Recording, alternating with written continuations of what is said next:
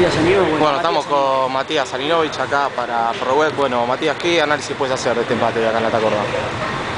Y eh, por como veníamos, bueno, lástima que bueno, después del segundo tiempo se divirtió todo con la, con la fusión, lo quisimos aguantar, no se pudo, pero bueno, creo que la mentalidad fue otra de los partidos que, que habíamos perdido, así que en ese análisis contento.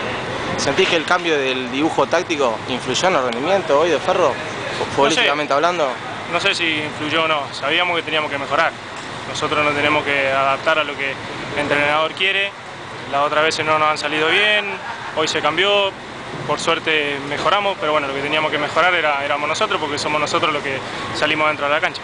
Bueno, y vos volviste al 11 titular, ¿cómo te sentiste? No, bien, contento, la verdad que contento.